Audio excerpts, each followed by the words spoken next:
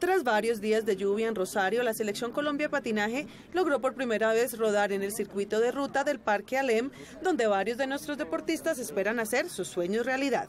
Tengo una meta personal marcada desde enero con Iván, pues que es mi entrenador, y es quedar campeón del mundo. Tengo especialmente un sueño de ganarme los 300 metros y por, por eso hemos trabajado todo el año. Álvaro, este cartagenero de 18 años, como sus otros 31 compañeros, ya en suelo rosarino, no oculta la felicidad de vestirse de amarillo, azul y rojo. Amante de los ritmos musicales que le hacen mover el cuerpo, como el reggaetón, la salsa y el merengue, tal vez es una ventaja para moverse como pez en el agua en la pista. Lo más grato, entrar a la selección Colombia. Ese era mi sueño y era mi meta y por fin la alcancé y era, era todo lo que más quería.